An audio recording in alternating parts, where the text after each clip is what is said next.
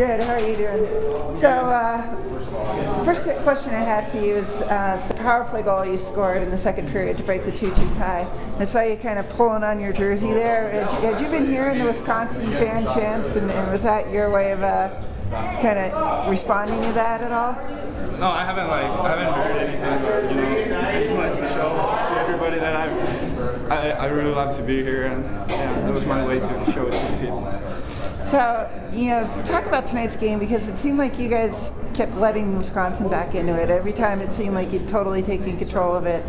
You know, something happened. You know, they, they got the power play goal at the start of the second to tie it 2 2. They got the goal again early in the third to pull within two. And then obviously they capitalized twice on the 5 on 3, or the 5 minute major. Yeah. Uh, well, I guess that that has been has been our problem for like whole season, and uh, we were leading 62, right? Yeah. Uh, and you know we still let them back to the game, uh, and that's that's a, like thing for sure. We have been talking about a lot in the locker room, and like coach. Coach has been like a bit angry too, like uh, to us, but you know it's understandable uh, I don't know. We have to be, we have to kill the game when, when there's the chance.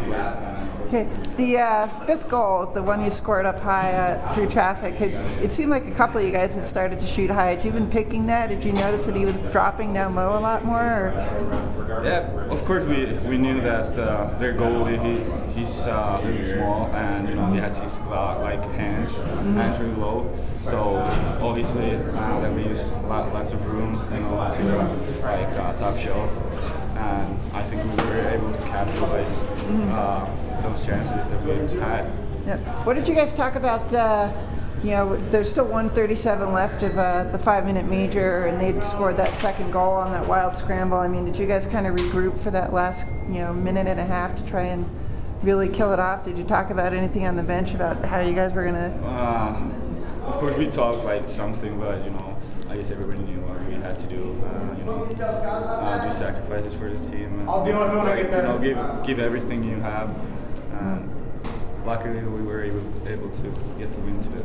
Do you guys feel tired at all in the third, especially after the, the long game last night in uh, Colorado uh, Springs against? I, I, don't think so. I, I, felt that they were more tired, like way more tired than we were. But uh, I guess like uh, the five minute major penalty, like it it, uh, it, affected us like in many ways, and we were kind of kind of like uh, I don't know. They got more energy, energy because of that, and we were kind of like you know, just looking when they were